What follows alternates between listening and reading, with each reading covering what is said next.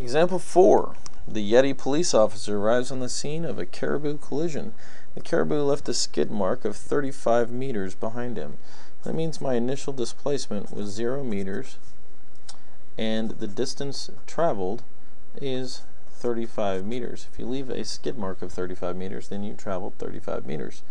If witnesses say the caribou was running at 500 meters seconds meters per second before the slide, that's a velocity, and it's before the slide, so that's my initial velocity of 500 meters per second. What was the caribou's acceleration? Now, if he's colliding and he's sliding, then he's obviously coming to a stop. So we know our final velocity is 0 meters per second. So now I have this lovely equation, and it doesn't give me any time. So anytime you don't know the time, we use v squared equals v naught squared plus 2a times d minus d naught. This time I'm solving for acceleration, so we're going to look at, first of all, the things that are 0. My d naught goes away. My v naught goes away. So v squared equals 2 times a times d. So now if I'm solving for, uh, sorry, I had that backwards.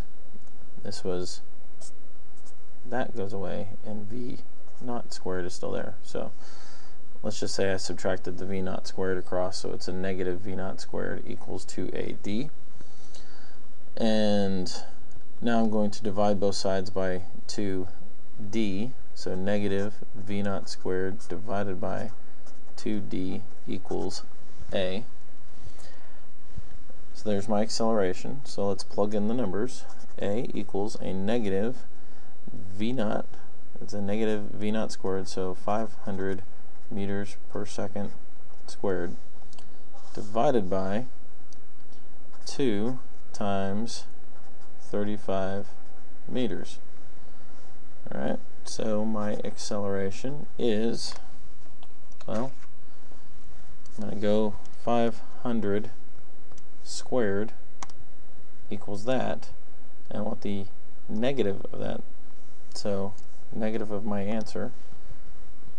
And I'm going to divide that by 2 times 35 is 70.